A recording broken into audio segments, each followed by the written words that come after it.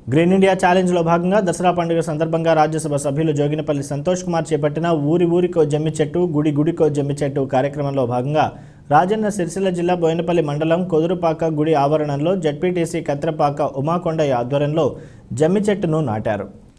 ఈ సందర్భంగా జడ్పీటీసీ ఉమాకొండయ్య మాట్లాడుతూ ఎంపీ సంతోష్ కుమార్ పిలుపు మేరకు గ్రీన్ ఇండియా ఛాలెంజ్ చేపట్టిన ఊరు ఊరుకో జమ్మి చెట్టు గుడి గుడికో జమ్మి చెట్టు కార్యక్రమంలో భాగంగా జమ్మి చెట్టు నాటడం సంతోషంగా ఉందని అన్నారు.